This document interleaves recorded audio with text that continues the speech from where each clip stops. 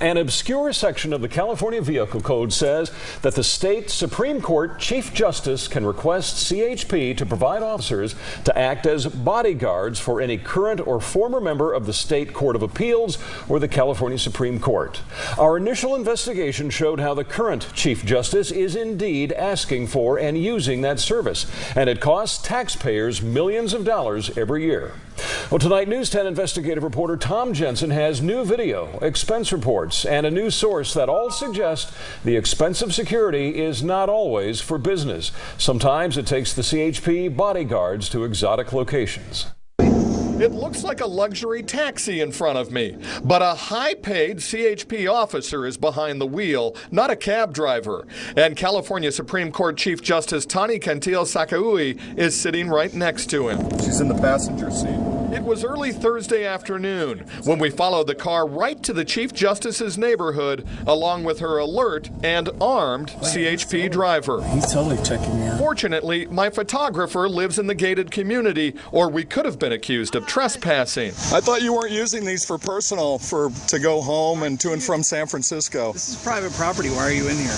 But he lives in here. A fair question, considering the Chief Justice criticized the governor's budget in January, saying she needs another quarter of a billion dollars. live. We have 51 courthouses that have closed. Through her spokesperson, the Chief Justice repeatedly refused to answer any questions about how she and the other justices use the service. We talked to a former appeals court justice after an audit hearing on the Chief Justice's office in February, and he told us accusations the officers are used for personal trips are ridiculous. It's just complete nonsense, totally inaccurate. But an alliance of more than 500 California Superior Court judges who face courtroom closures and other cutbacks are critical of how the officers were used and the multi million dollar expenses. As far as the Chief Justice is concerned, uh, last I checked, it was a pretty safe road from Sacramento to San Francisco. There weren't many brigands on the highway anymore. Expense reports from the CHP show over a four month period last year, the Chief Justice and her driver made just one trip per month from Sacramento to San Francisco. But a source with knowledge of her travels says a CHP officer picks her up often. And according to the state Supreme Court calendar, most of the court's business is in San Francisco. And there is much more in those reports. In September 2012, two CHP judicial protection officers escorted her and other justices to her home state of Hawaii, where she made stops in Oahu, Kauai, and Maui.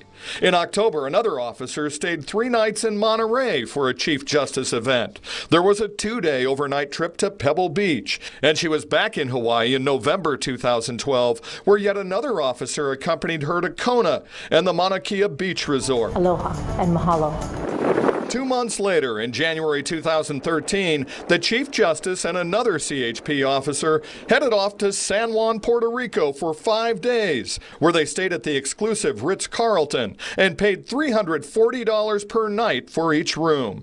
Since 2009, taxpayers have dished out more than $4 million a year for judicial protection. Is this really needed for protection? If so, it should be done.